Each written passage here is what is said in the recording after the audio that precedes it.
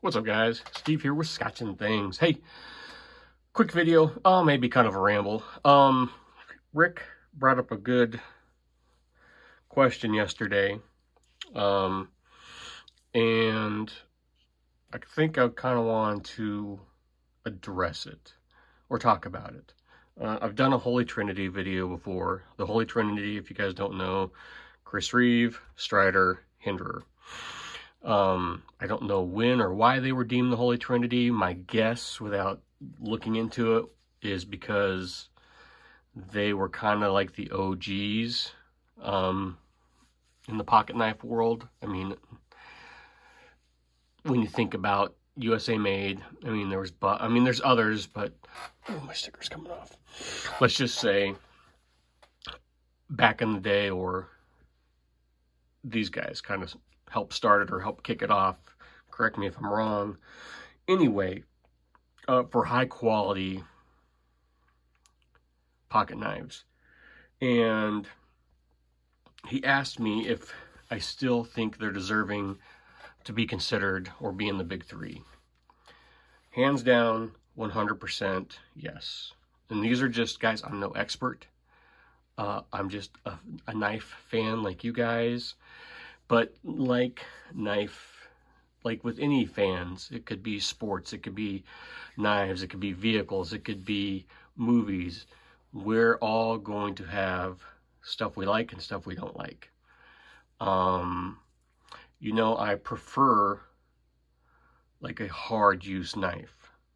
Um, one, because I have had each one of these on the job site. So that doesn't mean to say I don't like other other types of knives, fidgety knives, drop shut action. Um, that's just to say that for what I use these knives for, other than EDC, is I think what they were meant to do. Um, that doesn't make me right, doesn't make me wrong, but I still think they should be, because there's always talk like, oh, they don't innovate, they don't do this, they don't do that, they shouldn't be in the big three anymore. Absolutely what I think people need to look at is if you're saying that, why are you saying that? Is it because you don't like the design or the steel they use or the the action on them? That's fine, but that's just your opinion. They and what do you use a knife for? So I just I've seen a lot of it and it's just kind of like call me a fanboy, call me whatever, but I'm also a fan of other, lots of other knives. Like, I mean, my favorite knife, guys, is the Grimsmo Norseman. Would I consider this a hard use knife? I would consider it a heavy use knife. Like, knowing what, like, if you go back and watch the videos, um, you know, they gave one to their brother-in-law. I think he's a paleontologist or something, and he literally digs up dinosaur bones with them. You know, carves in stone with them, and it. But for me, I've noticed like for work, outdoor work, hard use work, I prefer a knife on washers. Um, cause just EDCing this, just, just being in my pocket and doing everyday tasks with it, cutting packages, whatnot, the bearings, my bearing knives, like from EDC and pocket, they just get gummed up and you will tell like the action just starts to slow down. Um, and that's just my you know, what I found. You know, Hinderer has the tri-way pivot system. You know, they come on bearings now, but you can switch them over to washers. And this XM24 is on, I switched it over to phosphor bronze, and this thing is stupid smooth. You know, bearings. This thing's been upgraded to skiffs, and it's, you know, I would consider the skinny XM more of a EDC type knife, you know. Chris Reeve running on phosphor bronze. Strider running on phosphor bronze. This is my work strider. You can hear it's, it's dirty as all get out. Um, but the action's still great. Um, it's been carried every day at work since last July. And now I'm just gonna, you know, now I just carried this for three weeks and now I'm gonna start carrying Medford. Um, but here's the thing, like, So I still think these three are deserving of their place. I just think you have to look at what you use a knife for. Is that mean there's not room for more? Absolutely not. You know, Medford's now absolutely a hard use beast of a knife on washers, super smooth. Um, you know, things like the Sawtooth, things like, uh, I've loaned it out right now, but things like the Spartan Harsey folder. Um, that's just because these are considered more, these three are considered more hard use, you know, this and that. Doesn't mean there's, and because they haven't really changed. This has relatively stayed the same. This has stayed the same. Stayed the same, minor tweaks by adding the tri-way pivot system. Um, people like to say they're not innovative. They they don't, you know, you know, still using S35 and S45. He uses Strider uses a plethora. You know, he's pretty much got a three or four steels that he uses. Um, everybody wants the new whiz bang cool stuff but it just works, guys. And if you use them, and if you really use them for what they're intended for, you'll see, like S35, S45, it doesn't matter. You know, this is CPM 154. Yeah, CPM 154, 3V, 3V, uh, 20CV. Um, just go out and use it. But I get what people are saying this might not be your cup of tea, this slow rollout, this hard use tactical folder, but on a job site, guys, it's awesome. You don't want, I wouldn't want to carry, like I said, this, and for how much dirt and dust I see, it just wouldn't make sense. But, guys, I also appreciate stuff like this. I mean, it's fidgety. This is the Oz, you know, the Oz Roosevelt Oz Machine Company Roosevelt. One of the best knives out there, guys. Honestly, for an EDC knife, I mean, would I take this to work? Nah, would it probably do okay? Yeah, but like I said, it's on bearings. It's going to get gummed up. Not super thick. You know, I'm not going to do any prying with this. Steve, you shouldn't pry with your knife. Guess what, guys? If you're in a job site or something, you're going to pry. You're going to want to pry a little bit with your knife. Uh, I'll talk about it with the XM24 video coming up um, you know, Rockstead. This thing is stupid smooth, and I think this is just as hard use as, you know, the Sebenza. Um, it's just a fancier version of it. Uh, Koenig, guys, I had this couple days falling in love with it. This is a fantastic knife, but it's geared more towards EDC. Um, I would not take this to the job site again. Uh, bearings, not that it wouldn't cut cardboard and do stuff like that, but you know, this has got just this fantastic thin hollow grind. And that tip just isn't going to survive in some applications compared to something, you know, just this thick tip here can, where you need something that's just a beast. Look at, I mean, super thick there.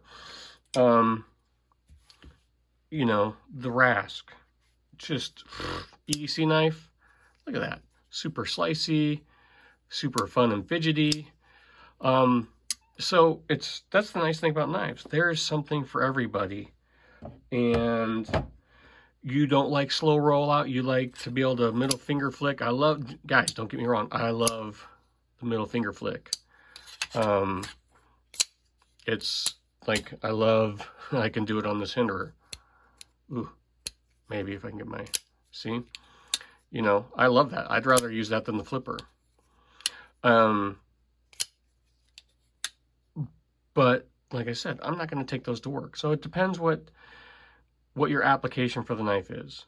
Don't bash on these three because you're not in a construction environment where you need something super heavy duty. Um, your day-to-day -day office job, this is perfectly fine. This is perfectly fine. Um, so, I don't know, guys. That's just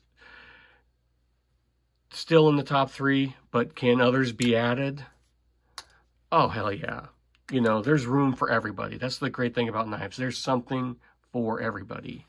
Um, you don't have to have this heavy, hard duty knife. You know, you can carry something super slim and awesome like this. But like I said, I'm not going to pry with that. I'm not going to pry with most Spydercos because I've seen a lot of broken tips. People post up in the group, oh, it's just a super thin blade stock at the tip. I mean, the Spyderco makes more heavy duty knives. Yeah, but I've seen a lot of broken para 3, para 2 um, PM2 clips or clips, tips. But it also depends on the blade steel. You know, don't be prying with your with your uh, Maxamet blade guys. So, and there's also price guys. People bag on these guys for not being innovative and this and that, but I mean, $450 to around $600 will get you into these knives.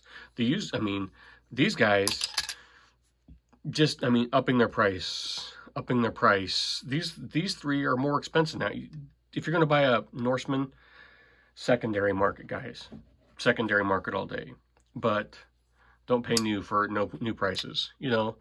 But stuff like the Arius, the Roosevelt, the Rask, you're looking for eight hundred to fifteen hundred dollars. Guys are getting out of these now. Um, you know, stuff like the the uh, what was I just gonna say? Oh, the Evo 2.0. Um, a couple months ago, when I was looking at those, seven hundred, eight hundred dollars. Now guys are wanting fifteen hundred dollars for that knife. Um, so a knife is worth what someone's willing to pay for it. And guys are willing to pay $1,500 for this knife. I got lucky and got it at table. Um, I don't know if I would give $1,500, even though this is such an awesome knife.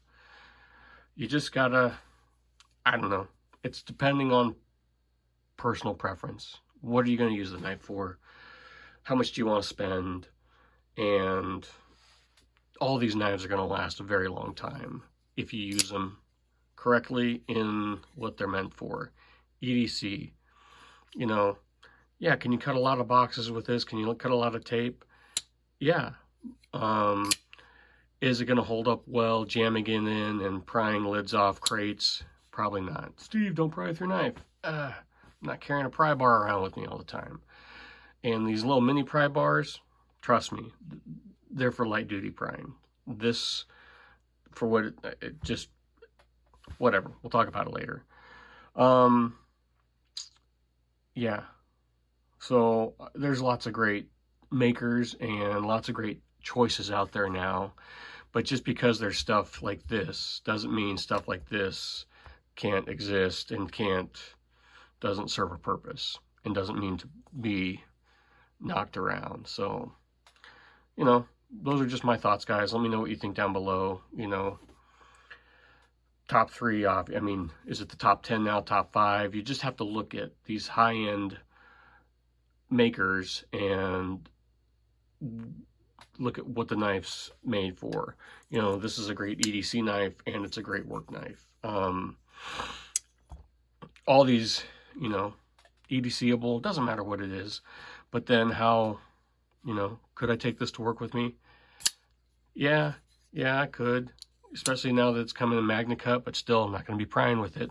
Even though it's a MagnaCut, I'm guessing it's still got that super sweet thin hollow grind and running on bearings compared to washers, you know, thumb studs that lock up against the scales. It's just a sturdier build, in my opinion. But there you go, guys. Almost 15 minutes of rambling. Let me know what you think down below. Um, and just because I didn't mention someone like the the Demko AD20, I would throw that in there too. Um, just because I didn't mention a maker doesn't, I just kind of wanted to show an example real quick. Holy Trinity and some different stuff that I think is just as good. And there's lots of other makers out there that are just as good, maybe better. I mean, yeah, there's knives that are better than these. But what, like these were built for, it's hard. It's kind of hard to beat. So thanks for watching, guys. I'll talk to you later. Bye.